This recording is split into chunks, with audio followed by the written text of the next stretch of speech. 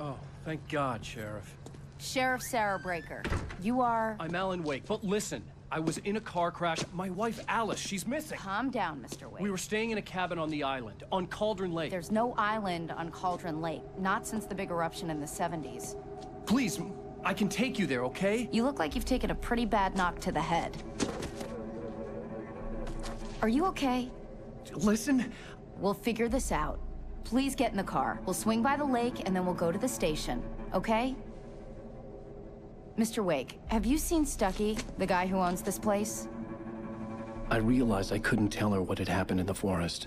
She wouldn't have believed me. And then she wouldn't have helped me with Alice.